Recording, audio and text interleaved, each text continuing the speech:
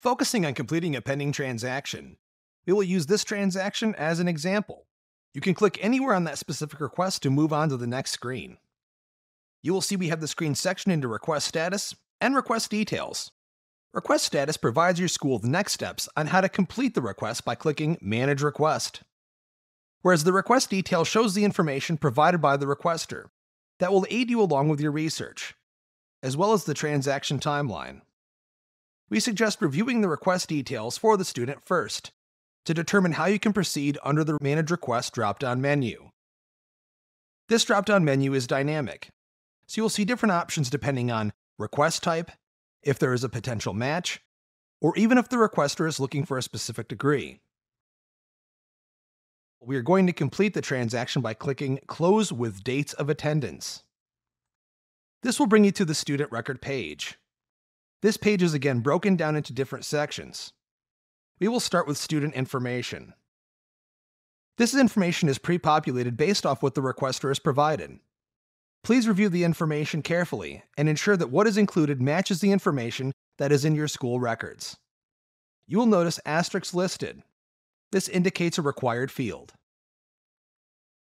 All requesters will provide the student's name and have the option of providing the student's date of birth. Only our contracted members will be able to provide the student's social security number.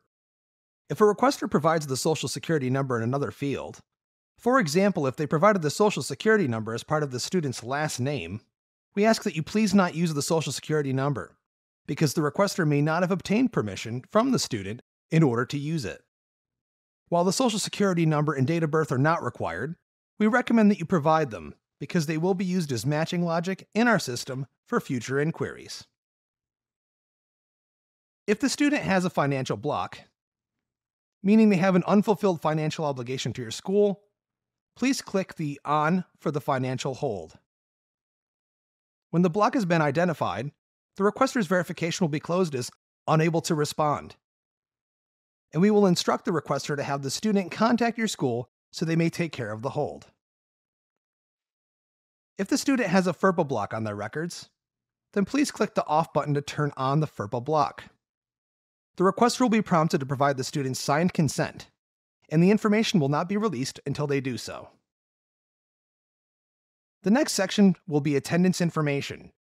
You do have the option to uncheck No Degree Awarded, which will allow you to add a degree if you need to. Here you will add in the dates of attendance. This is required, and any additional information to complete the record. We will highlight the privacy block setting, which only applies to GDPR students. In order to use this block information, it does require an addendum be signed with our legal team. Pre-populated comments will always be available if there is additional information that you would like to pass to the requester. Once you have provided the complete record, and all the required fields have been completed, then the Submit button will appear and you can submit the record. The transaction will then be removed from your queue, and you can move on to the next pending transaction.